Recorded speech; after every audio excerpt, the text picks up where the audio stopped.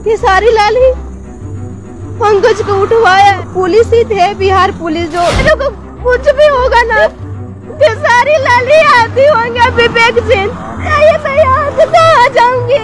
इस वक्त की सबसे बड़ी खबर निकल सामने आ रही है। आपको हम बता दें कि जो शख्स खेसारी लाल यादव की बेटी का नाम लेकर गाना गाया था, आपको बता दें कि अश्लील गाना गाया था, उस शख्स को गिरफ़्तार कर लिया गया है। इसकी जो जानकारी है, एक लड़की ने लाइव के माध्यम से दिया है, जो उसके साथ में रह रही थी। उसने बताया कि किस तरह रात में पुलिस पहुँची हुई थी उसके पास, और उसके बाद उसे उठाकर बिहार ले गई है। खेसारी लाल यादव ने प्राथमिकी दर्ज करवाई थी, उसके बाद पुलिस प्रशासन लगातार छापेमारी कर रही थी और उस शख्स को पकड़ने की कोशिश कर रही थी, लेकिन वो लगातार फरार चल रहा था। लेकिन उसे अभी गिरफ़्तार कर लिया गया है।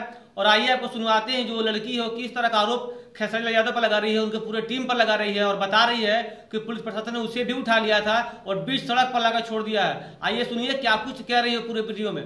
खेसारी लाल ही पंकज को उठवाया। पुलिस ही थे, बिहार पुलिस जो मेरे को कुछ भी होगा ना तो सारी लाली आती होंगे विवेक सिंह चाहिए मैं यहाँ से कहाँ जाऊँगी। आपने सुना इस लड़की को, उसका आरोप है कि पुलिस प्रशासन ने उसे ज़बरदस्ती उठा कर ले गई है और उसे भी ले आकर सड़क पर छोड़ दी है।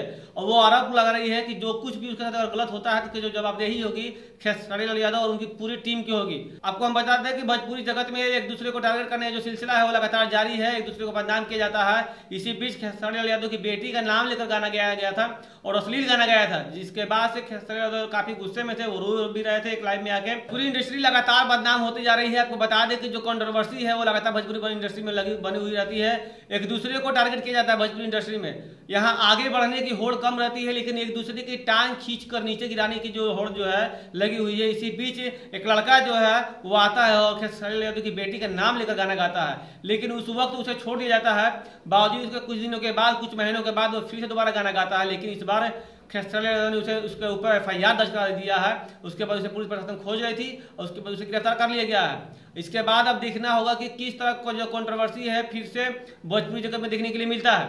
तो इस तरह की खबरों को देखने के लिए आप हमारे साथ बने रहे। मैं श्रीकांत भारती और आप देख रहे हैं इंडिया न्यूज़ धन्यवाद। जुरो दीक्षांत से करो फ्री खुद को स्ट्रेस से। गूगल प्ले स्टोर से दीक्षांत ऐप डाउनलोड कर अपने स्टडी को बनाओ आसान और मज़ेदार। दीक्षांत देता है topic wise video with animated visuals and concept by the study materials